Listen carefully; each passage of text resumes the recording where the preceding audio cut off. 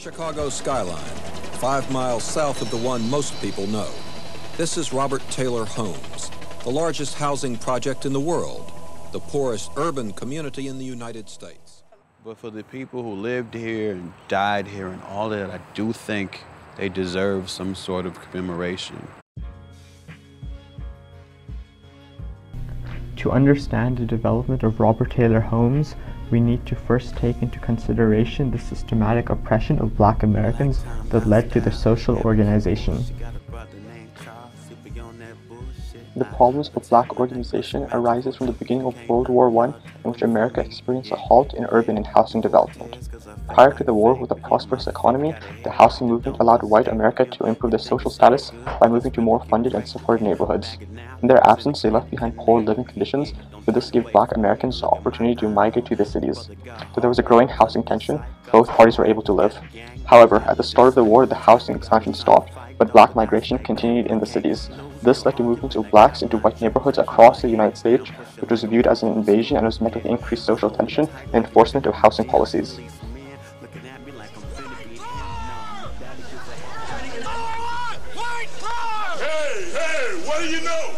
We want to keep what we have.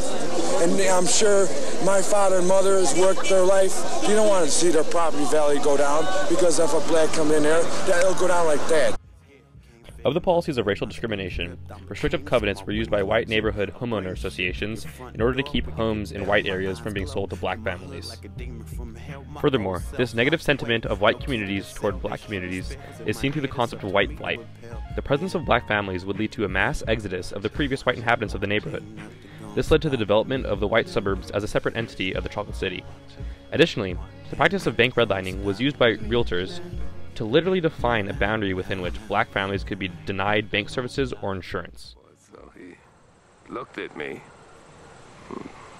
looked around, and he said to me, he says, listen, it's not me, but the owners of this development have not as yet decided to sell these homes to Negroes.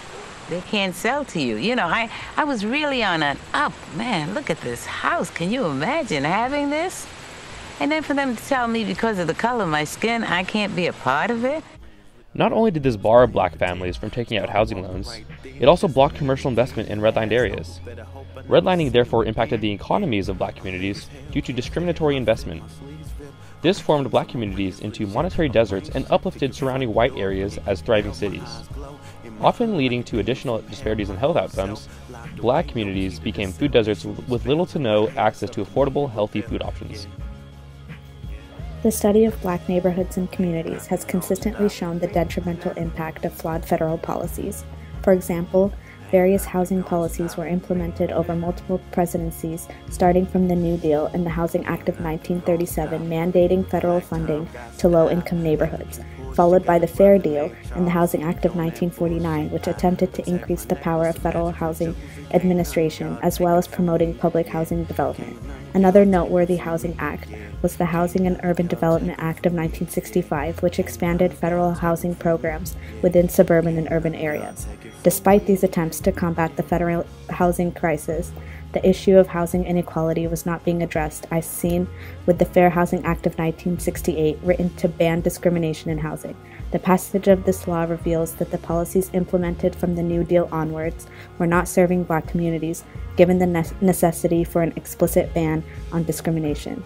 The Fair Housing Act did not alleviate all forms of housing in- inequality, but reveals the severity of past discrimination.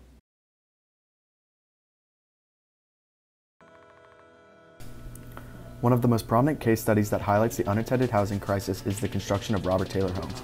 Robert Taylor, the head of the Chicago Housing Authority and the founder of the homes, wanted to revitalize and develop the city. The idea for a better, safer, affordable, and more integrated community, although seemed like a great idea, ended up turning into one of the most poor and crime-ridden neighborhoods in the U.S.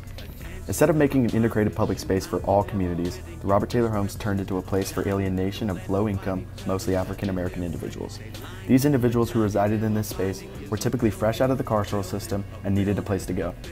As a result, the mass influx of people made the homes overcrowded and poorly managed, leading to the quick deterioration of the facilities and a huge increase in crime. One example of how this happened was that children resorted to using elevators, bathrooms, and the train yard as playgrounds due to the degraded nature of the public parks. This would lead to the further deterioration of those facilities as well, and then the cycle continued until the whole neighborhood suffered from detrimental living conditions. Furthermore, with public sentiment being that the neighborhood was full of criminals, the CHA worked to fund policing, security checkpoints, fences on balconies, and cameras around the community instead of working to raise the standards of living.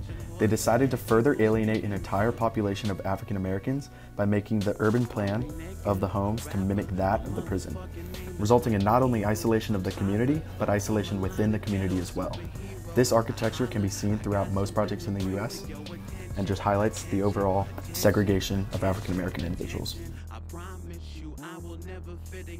Overall, it is clear that keeping black Americans segregated from the majority white population meant more to the government than the actual well being of the people living in this community.